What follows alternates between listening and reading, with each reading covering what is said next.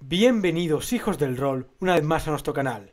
Estamos por fin de vuelta tras un pequeño parón, unas dos semanas en las que no ha habido mucha actividad en el canal por no decir nada, para hacer un pequeño videoblog para poneros al corriente y contaros mi experiencia en las pasadas Revelation Con que se celebraron aquí en Inglaterra, en la ciudad de Sheffield, y que, si no lo sabéis, son unas jornadas que se celebran aquí y que se dedican enteramente a juegos PBTA, Powered by the Apocalypse.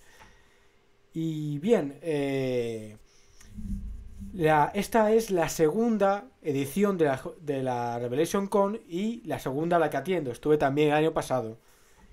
Y la verdad es que es una de las, eh, de las convenciones a las que más ganas tengo de ir eh, estos dos últimos años en las que he ido.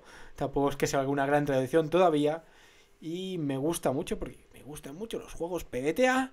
Y además hay muy buen rollo, son pequeñitas, están pero, pero hay muy buena gente, están en un lugar muy chulo, en un, en un hotel muy molón, que es como una es como un edificio de la guardia antiguo y entonces juegas dentro de las celdas y, como que mola bastante. Eh, si me acuerdo, pues compartiré por las redes sociales las fotos que hice de algunos de los juegos. Y bueno, pues en cuanto a cómo fue la experiencia, lo primero que sepáis que Sheffield, eh, que la ciudad donde se celebra, me queda un poquito lejos. Yo vivo en Londres, Sheffield está, pues al menos, depende de donde vivas en Londres, entre, pues entre, entre 3 y 4 horas. Porque esa es la cosa con Londres, aun estando dentro de la misma ciudad, lo mismo dependiendo de dónde estés, te añade una o te quita una hora. O sea que hay bastante diferencia. Este año estaba más cerca que el anterior. Así que bueno, eso por lo menos tardé un poquito menos. Y aún así, de, eh, por la experiencia del año anterior, que, me que tiré un montonazo para llegar y acabé llegando tardísimo y cansadísimo, al final lo que hice es que este año me he cogido, me cogí medio día de del trabajo, la última mitad del día, para ir tranquilo, relajado, con tiempo, sin prisas, porque esto eh, fue a lo largo de un fin de semana, solo fue el sábado y el domingo, entonces yo por el, el viernes por la tarde, bueno, a mediodía, pues me fui del trabajo y, directamente al tren y hacia allí. Y bueno, el, viaje la verdad es que estuvo bien. No había mucha gente a aquella hora. No, no duró tanto como la última vez. Fui bastante bien. Así que eso guay. El primer problema llegó cuando eh, llegué al hotel. Llegué a la decepción. Y no podían encontrar mi reserva. Y no podían encontrar mi reserva porque yo soy sumamente estúpido y había hecho la reserva para el día después del que se suponía que tenía que llegar. Así que llegué sin, sin, habitación de hotel. Lo cual, teniendo en cuenta que, estaba la convención y que estaba todo... Bueno, que, había una, que estaba la convención y que aparte había una boda y que estaba casi todo reservado, pues no era muy buena forma de empezar. Y estuve a esto de quedarme en la calle eh, a dormir porque, porque estaban casi llenos, pero por suerte, por suerte me pudieron encontrar una habitación, me la pudieron cambiar, así que no tuve, no tuve que morirme de frío o pedir por ahí por la calle que me dé, que me que me acoja a alguien, o, no sé lo que hubiera hecho si no. Eh, yo ya estaba pensando, yo quise empezar a llamar a todos los hoteles o algo. Pero bueno, esto, esto es una prueba de que a mí no se me puede dejar solo con estas cosas de adultos que yo, no sé, necesito... Eh, necesito, no, no sé, yo, ya no sé lo que voy a hacer, estas cosas no se me dan bien, así que no sé, el año que viene pues lo, lo certificaré, lo preguntaré, lo comprobaré como tres o cuatro veces antes de hacer cualquier, cualquier cosa de este estilo, porque es que soy un desastre, un desastre, no se me puede dejar solo. Pero bueno, solucionado eso, eh, pues eh, pues me reuní con unos cuantos de, las, de, la, de los que atendieron la convención, eh, que ya estaban allí, eh, pues para en el bar, pues nos pasamos, pues cenamos allí unos, un poco, hablando y tal, tomando cervezas. Tomé una cerveza, que por si no lo sabéis, yo no suelo beber, pero bueno, dije, una vez una vez, una cerveza, está bien. Y no estuvo mal, la verdad. Que por cierto, tienen allí la costumbre de que, de, bueno, no sé si es una costumbre o lo que sea, pero había por lo visto una cerveza oficial de la convención. La cerveza, La Revelation Beer o algo por el estilo, no la probé, me daba igual, parece un poco una tontería, pero está guay, supongo. Eh, no sé. Eh, que yo creo que, que, eso de la Revelation Beer es que coge una, una cerveza cualquiera, le pone la tequeta por encima y ya está. Porque no creo que sea otra cosa más. Pero bueno, eh, lo que sé que estuvo bien, muy bien de esa noche es que eh, me encontré con alguna de las personas con las que había jugado el año anterior, eh, con las que me llevaba más o menos bien. creo que uno se llamaba Guy Miller. no. Ah, no, no, no, ese era otro. No me acuerdo mismo del nombre. Y aparte que me presentó a un amigo suyo que, que nos pusimos a hablar de muchos temas, de política, de publicidad, de cosas. Y resultó ya de que eh, coincidíamos en que a ambos nos, nos interesaba el tema de, del pesimismo, el nihilismo, Tomás Ligotti, eh, el antinatalismo, todas esas cosas molonas que normalmente no hay, hay como una de cada, no sé, te encuentras a una persona por, por ciudad que, que le gustan ese tipo de temas, una o dos, eh, entonces fue bastante curioso, tuvimos una conversación bastante buena al respecto, ahí hablando de Ligotti, que historias y tal, y todo eso, que, que, estuvo guay.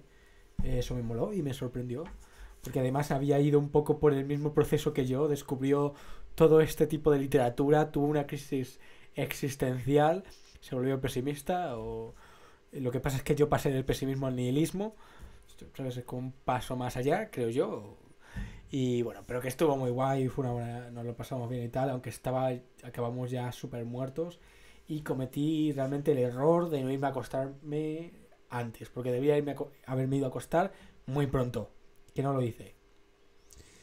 Así que por la mañana me levanté hecho una mierda, pero bueno, dispuesto a jugar. Y, y por la mañana, eh, lo, la, además, por cierto, que la, que la convención tenía lugar eh, en el mismo hotel donde jugaba, donde dormíamos, pues es donde tenía lugar la convención, así que eso estaba muy conveniente. Y después de desayunar, pues nos empezó la, empezó la convención en sí de verdad y empezaron las partidas. Y la primera partida que tuve yo fue una como jugador en la que participé en una partida de Mask RPG, este juego Powered by the Apocalypse de MacPib Games, sobre eh, superhéroes adolescentes, que sabéis que me gusta un montón y que he dirigido varias veces, eh, tanto en el canal como, de hecho, en el año, el año anterior, en Revelation, la primera edición, dirigí una partida de, de, Mask, fue la, partida que dirigí aquel año, y uno de los jugadores que participó, tiene Torrance, parece que le moló la idea, le moló la partida y tal, y este año fue él el que me dirigió a mi Mask. Lo cual me parece me pareció me, me pareció muy guay me, me, hizo un poco de ilusión porque fue como oh yo le inicié yo se lo enseñé y ahora él ha crecido y ha, y ha expandido sus alas para dirigir lo cual siempre es mola un montón.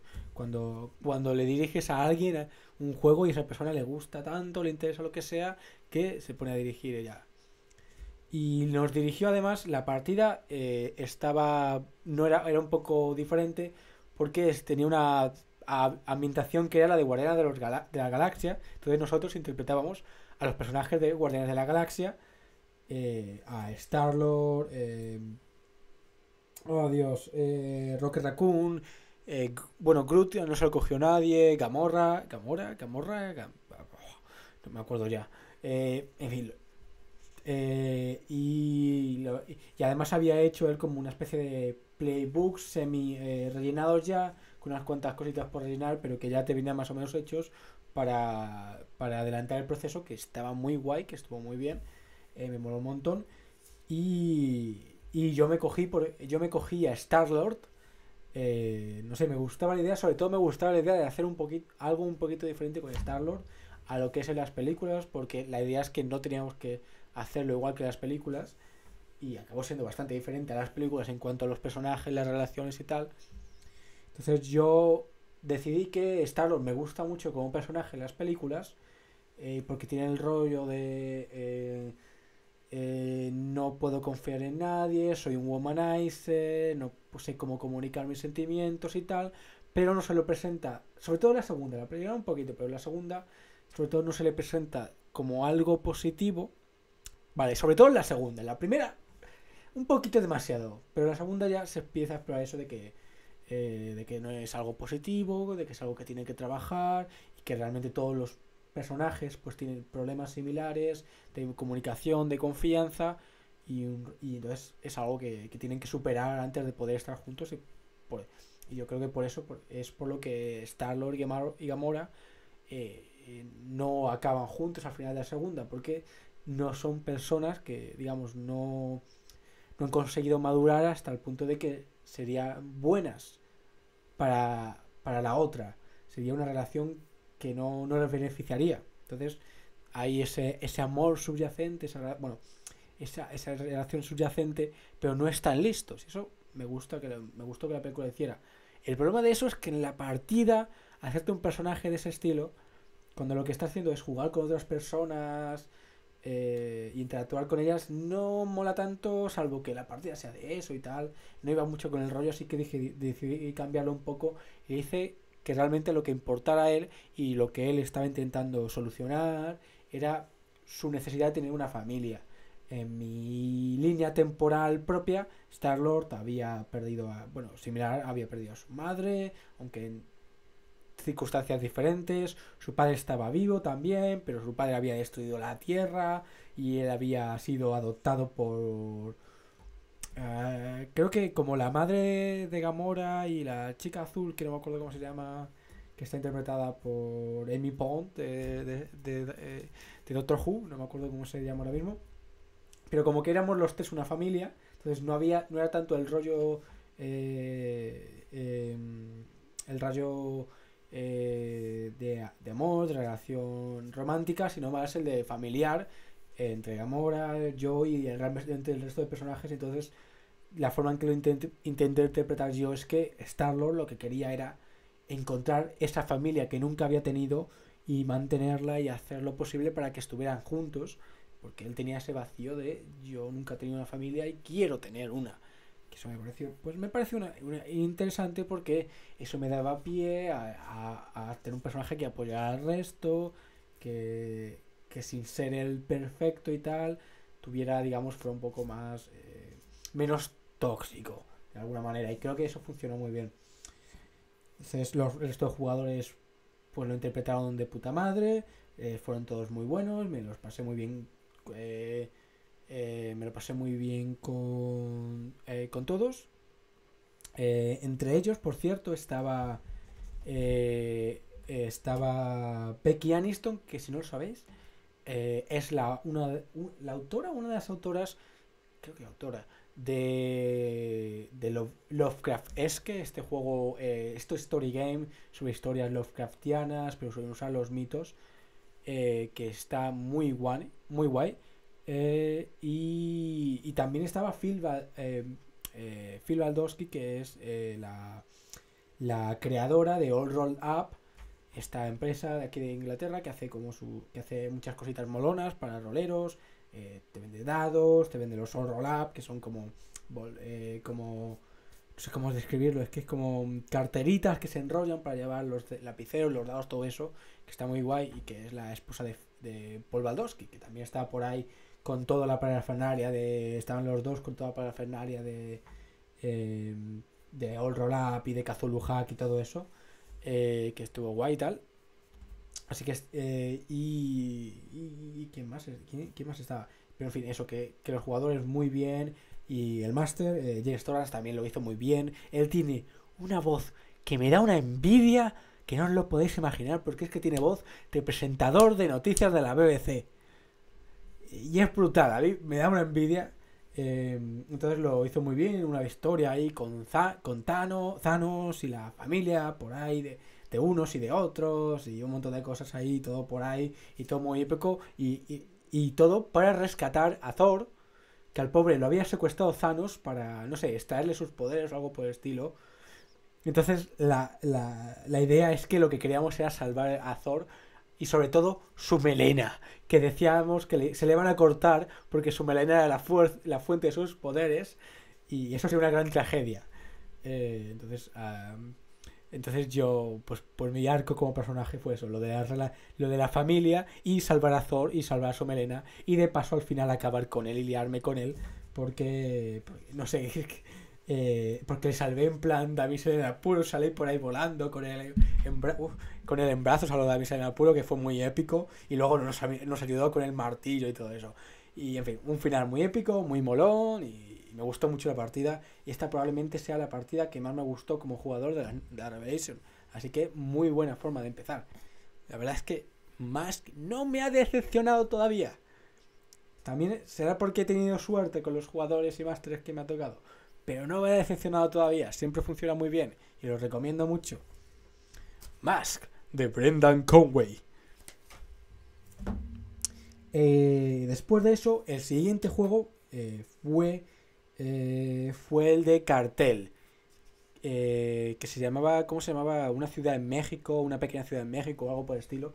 Cartel es el juego de Mark Diaz Truman, el autor de Urban Shadows, y que está ahora mismo a puntito de salir en, en Kickstarter. Entonces esto fue la, la, la versión Ascan, que es como una beta eh, extraña que se suele, que en algunos juegos, y que es un juego sobre narcotraficantes eh, o gente relacionada con, la, con, eh, con, la con una familia de, narco, de narcotraficantes en México.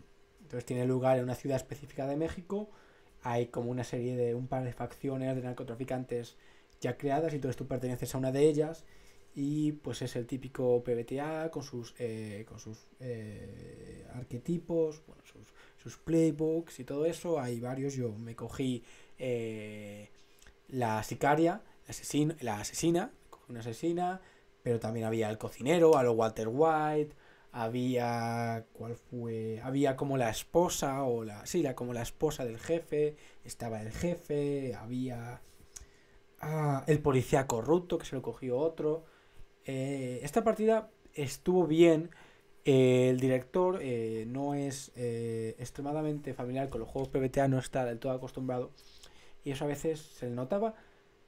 Pero no demasiado. Creo que como Master no había tanto problema. Se notaba que él lo estaba más o menos lo estaba.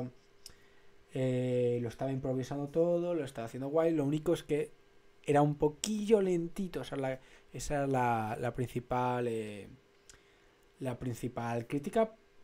Pero estuvo guay, tuvo momentos muy chulos.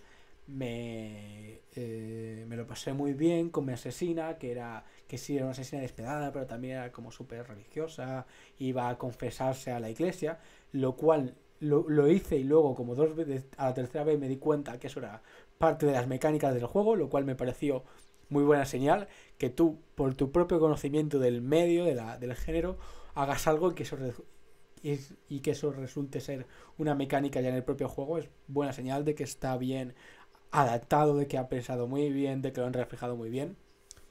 Y tiene cosas muy chulas. Eh, tiene.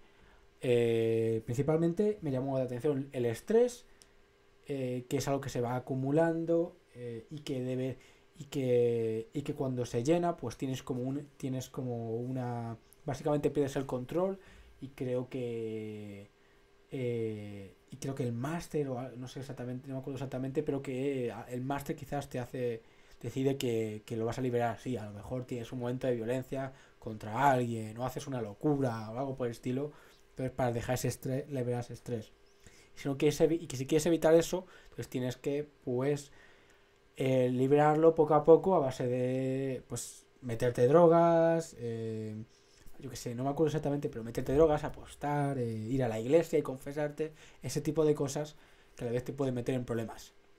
Entonces eso tiene muy, eso tiene muy chulo. Y aparte, en cuanto a la experiencia, me gustó mucho que tiene lo que son esencialmente keys o llaves de Lady Blackbird o de, o de, de Shadow Yesterday, que que es de donde lo sacó Lady Blackbird, si no me equivoco, es porque están calcadas, que básicamente tienen como dos, eh, dos triggers, dos desencadenadores. Eh, si haces X, te llevas un punto de experiencia. Si vas contra X, te llevas un avance completo. Entonces, a lo mejor, si, si realizas un trabajo para el cartel, un asesinato para el cartel, en mi caso de como la asesina, eh, te llevas un punto de experiencia. Si, decides dejar escapar una presa, que es como lo contrario, allí ganas un avance y se, y se elimina esa, esa, esa llave. entonces eso es muy... Eso es, es a lo de Lady Blackbird y la verdad es que está muy chulo. Me interesaré ver cómo es la, eh, la versión final, cómo va evolucionando a lo largo del tiempo y tal, cómo va cambiando las llaves del jugador o del personaje. Pero me gustó mucho y en general el juego me moló bastante. Tiene mucho potencial, tiene mucho sabor. Es muy, muy duro, muy cabrón, muy, eh, muy macarra y, y se nota que, que, que Mark Truman pues le ha puesto mucho trabajo detrás y eso, tengo muchísimas ganas de ver lo que ha hecho en la versión final. Que está el Kickstarter ya a puntito de salir y yo estaré allí el primer día apoyándolo porque me, me, interesa mucho eh, jugarlo. Y os recomiendo que también le echéis un vistazo. Entonces, después de ese juego, eh, este fue ya por la tarde, por la noche tuve una partida de, de The Veil llamada Ivari Offline, Ivari Offline, que llegados a este punto yo ya estaba muerto, muerto, muertísimo de sueño, que no me podía... Eh, que, y ahí ya sí que es cuando me empezó a afectar de verdad. Pero bueno, eh, de Bell me... o que me interesa bastante, que me gusta bastante. Eh, tiene algunos problemillas. Los, eh, también es que depende de cómo lo juegues. Eh, pero tiene cosas también muy chulas. Tiene mucho, mucho, mucho potencial. Sobre todo creo que en la... Eh, bueno, tampoco quiero extenderme mucho, pero en la... En la, eh, en la, en la ¿Cómo se llama? La, el libro que sacó posteriormente, que no me acuerdo cómo se llama, eh, arregla muchas cosas y hace cosas diferentes que molan bastante. El caso es que eh, Online era una parte offline, era una era un, eso, un mundo cyberpunk, que solía estar conectado a una red, eh, a una red eh, interplanetaria como el Internet, pero mil veces más grande, pero que hace tiempo se quedó aislada y las corporaciones lo tomaron el control y, y entonces empezaba con un contrato de encontrar a una chica que estaba trabajando en algo de, para una corporación, descubrir qué le había pasado porque su familia la quería, eh, la quería encontrar, no sabía lo que le había pasado. Eh, yo me cogí a, a The Empath, la, la, la, empática, el empático, no me acuerdo cómo se llamaría, eh, no sé cómo se traduciría, eh, que básicamente es un personaje que puede eh, absorber las emociones de otras personas, eh, interpretarlas, manipularlas, que me, me, pareció interesante un personaje así de ese estilo. Y esta partida tuvo momentos chulos, tuvo momentos chulos y me gustó probar algunas cosas del sistema, pero tuvo el problema de que se notaba de que la partida estaba bastante eh, preparada, de que era un escenario relativamente cerrado y no exactamente un ah, que se estaba jugando para que el máster no estaba exactamente jugando para descubrir lo que va a ocurrir. Eh, si en la anterior partida ahora que lo recuerdo, el principal problema es que eh, era que cuando había fallos, el máster simplemente fallaba, lo te hacía la mayoría de las veces te hacía fallar, no escalaba la situación, no hacía un movimiento, no, no movía la, la historia hacia adelante, sino que simplemente fallabas, igual era un poquito aburrido. Eh, pues en esta hubo un poquito de eso y aparte eso que yo notaba que estaba bastante preparada y que al final estamos eso, descubriendo el misterio que el máster había preparado y yendo un poco, pues que tendría sus nodos, lo típico de, eh, de, de, pues no sé si era, si no era lo de los tres, lo de las tres, el sistema de tres pistas eh, era similar y eso, sabes que no, que no, no me termina de... Eh, ahora sí, pues moló, me gustó el sistema y tal. Eh, Hubo momentos muy chulos con los otros jugadores. Pero es eso, a mí me gusta no. Eh, me, me, gusta el Play to Find Out. Me gusta que una. que el Story Now. Me gusta que la historia se esté creando en el momento. Eh, y que no es que tenga que ser todo improvisado, pero que yo de verdad sienta que esta es. que yo tengo autoridad sobre la historia, que yo tengo eh, responsabilidad narrativa como el, como todo, como el máster. Si acaso eh, en diferentes niveles, en diferentes formas, pero que yo también estoy contribuyendo a la historia y no simplemente explorando su historia, sea improvisada o no. entonces, eso... Mm, y la verdad es que quizás hay algunos juegos de los Power by the Apocalypse que eso, hacer eso te lo eh, que te facilitan, incluso te promueven ese tipo de estilos. Eh, con Apocalypse Wall o Monster Head es muy difícil eh, jugar con una historia preparada. Si estás jugando bajo las reglas. En, en DBL, evidentemente, te dice que no hagas eso, así que en teoría tampoco, si este se juega bajo las reglas, tampoco deberías hacerlo pero es más fácil, se presta más, hay menos cosas que te lo dificulten, con muchos otros juegos.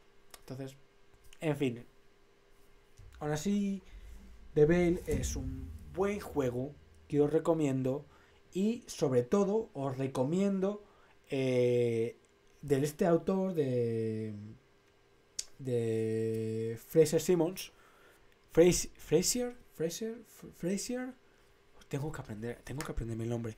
Eh, os, recomiendo que miréis el Kickstarter de Hack the Planet, que es un, juego basado en Blessing the Dark sobre cyberpunk, pero también eh, cyberpunk como era eh, climatológico, climático, como que mezcla el rollo de... Es como un mundo lleno de tormentas, de, arrasado por los fenómenos meteorológicos, y además es cyberpunk y es Blessing the Dark y tiene muy buena pinta y yo creo que el autor ha ido, con cada juego que ha sacado, ha ido mejorando, ha ido ha, experimentado con varias, varias cosas, tiene ahí un Kickstarter bastante interesante. Eh, y este juego yo le tiene muy buena pinta, tiene creo que va a estar muy muy guay. Así que os lo recomiendo que lo miréis, Hack the Planet. Y si os apetece, The Veil también es un buen juego, aunque con algunos fallitos. Eh, pero que me gusta mucho y tiene cosas que me gusta mucho. Y bueno, este fue el primer día, terminado eso, me fui a dormir enseguida, callé, caí inconsciente en la cama, porque estaba cansadísimo, y me levanté el día siguiente para jugar la última partida de, la convención, que es la mía, que fue una partida de dos sesiones, eh, no fueron ocho horas, fueron en total unas cinco horas de duración eh, entre las dos sesiones y fue del juego Girl by Moonlight de Andrew Gillis, que habéis visto aquí en el canal, que hicimos tres sesiones aquí, eh, y concretamente, al igual que en el canal del Playbook eh, In Darkest Night, que es, y, si no lo sabéis, este juego es sobre chicas mágicas luchando contra las fuerzas de la oscuridad, pero en realidad, en teoría, es sobre las personas queer luchando contra la opresión de la sociedad. Y la verdad este juego fue brutalísimo. Me salió muy, muy bien. Eh, los jugadores, creo que, que ninguno de ellos, uno de ellos se había visto antes de, de la partida, a propósito de la partida, unas, un poco de una serie de chicas mágicas y tal, pero ninguno de ellos tenía mucha experiencia con chicas mágicas o incluso con anime en general. Pero aún así, rápidamente eh, cogieron un cierto tono no fue el tono que yo buscaba a primeras, que era eso de chicas mágicas oscuras, eh, nihilismo, posmodernismo, de construccionismo, todas esas mierdas, eh, sino que era un poco más de telenovela adolescente.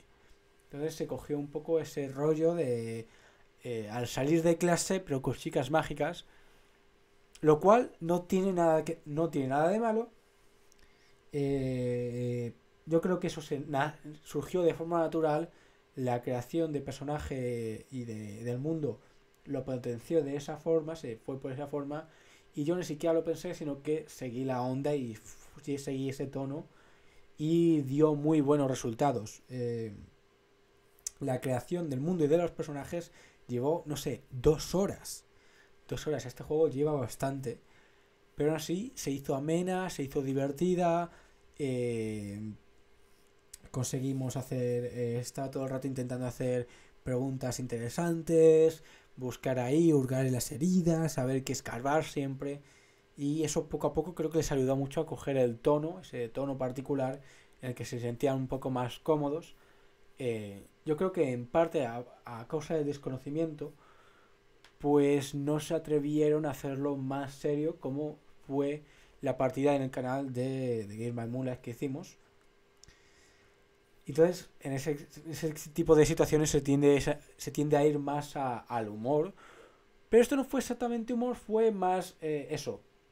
Drama exagerado, con giros, con giros de guion inesperados.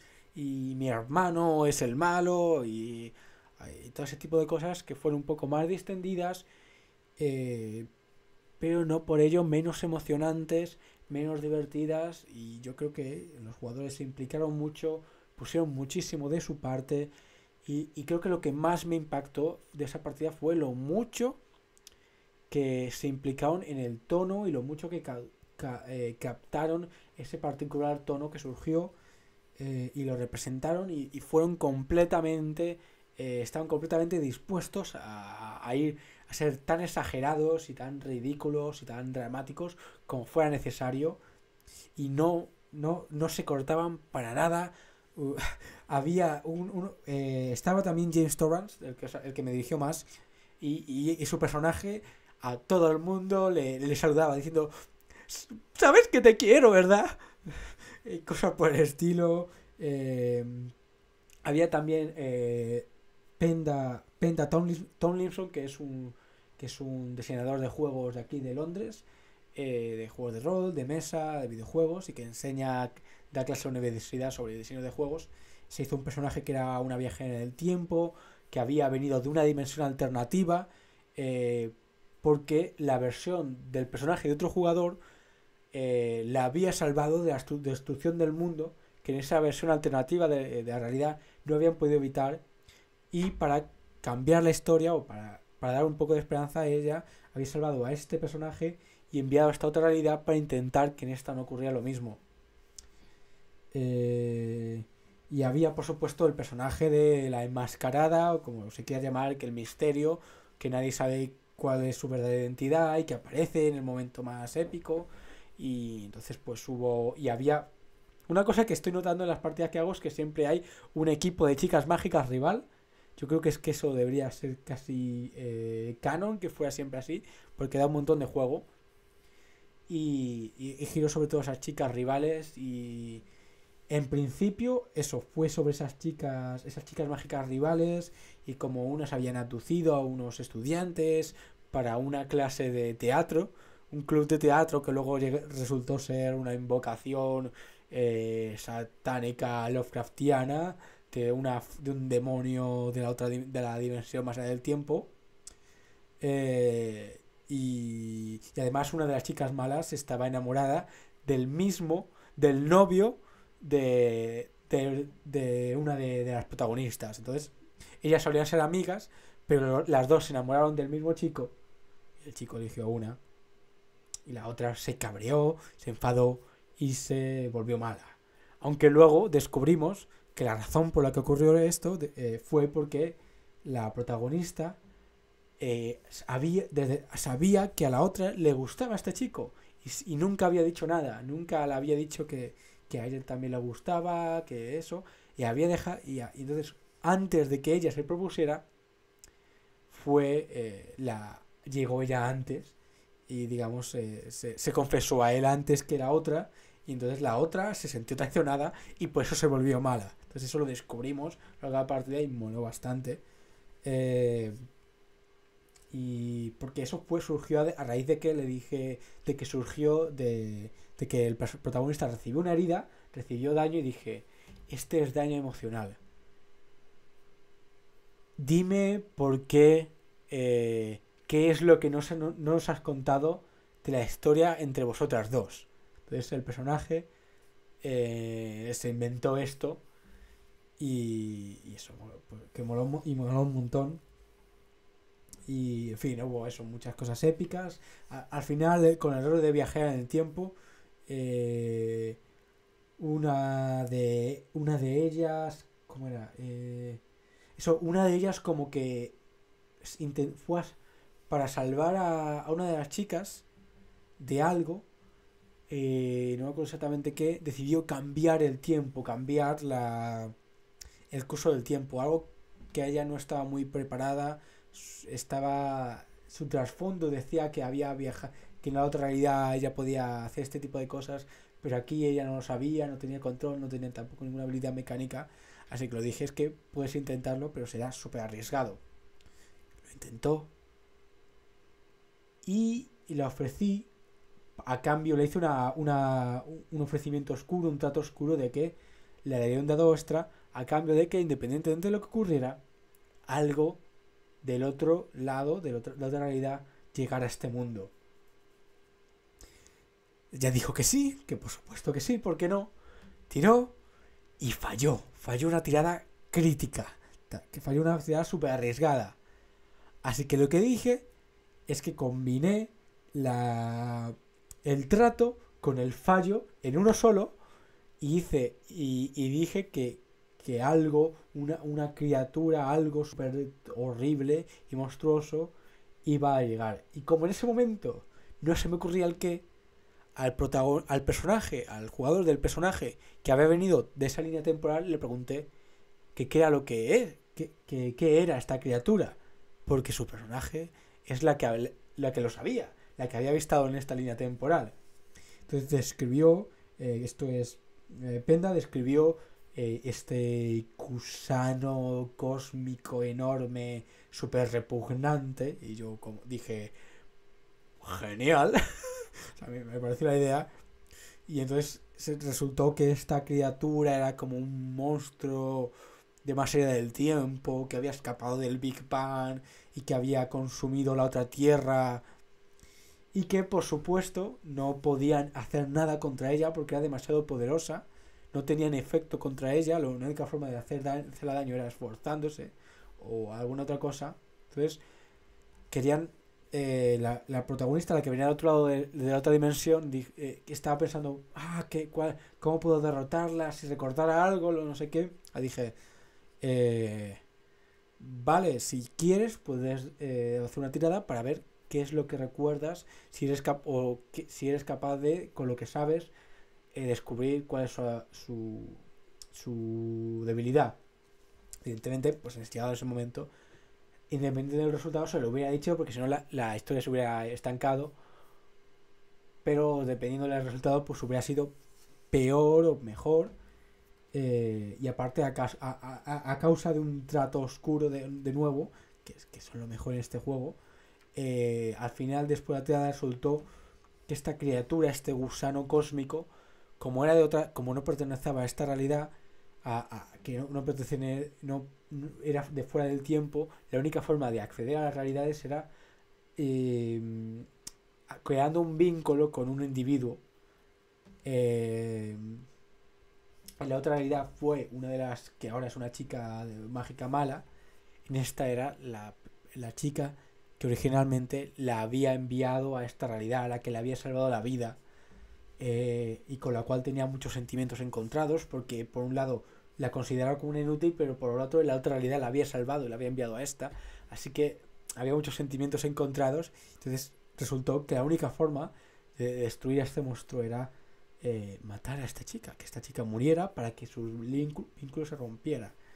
Eh, y en fin, después de un montón de, de, un, de momentos dramáticos, de no saber qué hacer, del malo de turno ofreciéndose a matarla a él mismo, un montón de cosas, al final esta chica lo que hizo es que con la ayuda de la otra reunió todo su poder y se lanzó a, en un ataque kamikaze contra el monstruo para desterrarlo de, él, de esta realidad de una vez por todas. Y tuvo éxito. Tuvo éxito eh, y consiguieron salvar el mundo y todo eso. Les costó mucho, hubo muchas, muchas pérdidas, pero lo consiguieron y fue muy épico y muy satisfactorio y muy bonito y muy guay. Entonces, acá, creo yo acabé contentísimo. Ellos creo que, creo que también y me gustó mucho la partida. Eh, fue muy diferente de la que jugué en el canal el canal, por ejemplo, el final fue súper, súper, súper oscuro, pero, pero muy, muy oscuro. Nadie consiguió lo que quería, salvo salvaron el mundo, bueno, no salvaron el mundo, derrotaron al malo, pero, pero todos todas perdieron algo. En este fue un final más... Realmente fue menos chicas mágicas oscuras y más chicas mágicas normales, lo cual estuvo genial aún así, me encantó y me quedé muy satisfecho de cómo salió esa partida y además duró exactamente lo que tenía que durar. Me dijeron, si pudieras terminar esta hora, genial. Y justo terminamos a la hora exacta. O sea que creo que eso es la primera vez. Resulta que 5 horas es mi, mi tiempo ideal para los one shots. Pero bueno, entonces pues esa fue la última partida que jugué. Después de eso ya nos despedimos todos. Hubo una, un reparto de se sortearon varios juegos PBTA, no me con ninguno. Tampoco me importó mucho porque todos los que había, salvo uno, ya los tenía. Así que casi mejor que se los lleve otras personas. Y a la vuelta, pues con, eh, me, me, volví con, con Penda, que también es de, de Londres. Estuvimos hablando de distintas cosas.